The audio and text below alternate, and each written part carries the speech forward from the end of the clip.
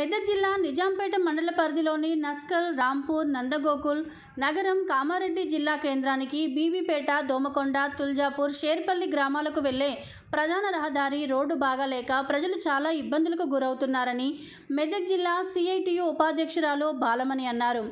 ఈ సందర్భంగా ఆమె సోమవారం నాడు విలేకరులతో మాట్లాడుతూ నిజాంపేట నుండి నస్కల్ రాంపూర్ నగరం నందగోకుల్ గ్రామాలకు వెళ్ళాలంటే ప్రజలు ఎన్నో ఇబ్బందులకు గురవుతున్నారని అన్నారు. ప్రభుత్వం ఈ రోడ్డుకు తొమ్మిది కోట్ల రూపాయలు మంజూరయ్యాయని టెండర్ వేసిన కాంట్రాక్టర్లు ముందుకు రావడం లేదని పంచాయతీరాజ్ అధికారులు కుంటి సాక్షులు చెప్తున్నారని అన్నారు. రోడ్డు బాగాలేనందున ఆర్టీసీ బస్సులు కూడా ప్రభుత్వం బంద్ చేసిందన్నారు. నిత్యము మండల కేంద్రానికి ఆఫీసు పనులపై రావాలన్నా దవాఖానకు పోవాలన్నా రావాలన్నా చాలా ఇబ్బందులు పడుతున్నామన్నారు. కాలినడకన నడుస్తామన్నా నడవలేని పరిస్థితి రోడ్డు దాపురించిందన్నారు. ప్రభుత్వం రోడ్డు పనులు వెంటనే చేపట్టాలని లేని ఎడల నాలుగు గ్రామాల బీడీ కార్మికుల చేత నస్కల్ గ్రామం నుండి నిజాంపేట మండల కేంద్రం వరకు పాదయాత్ర చేపట్టడం జరుగుతుందన్నారు. ఈ కార్యక్రమంలో సిఐటియు మెదక్ జిల్లా ఉపాధ్యక్షురాలు బాలమణి ఎస్ఎఫ్ఐ జిల్లా అధ్యక్షుడు జగన్ ఉపాధ్యక్షులు ప్రవీణ్ నవీన్ రామస్వామి నరసింహులు తదితరులు పాల్గొన్నారు.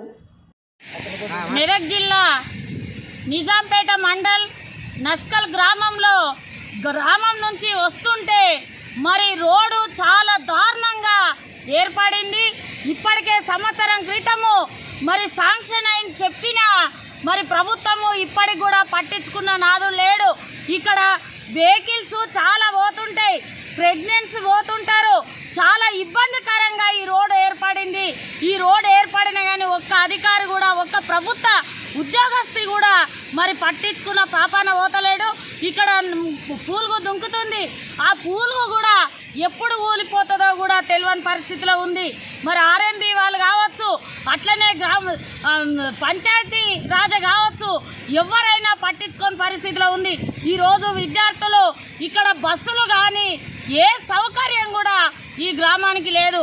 నిజాంపేట మండలానికి నస్కల్ గ్రామమే పెద్దది. అయినా ఈ నస్కల్ గ్రామం ఎట్లయిపోయిందంటే వ్యాపారంలో కానీ బస్సులో కానీ విద్యార్థులు చదువులో కానీ వెనుకబడిపోయింది.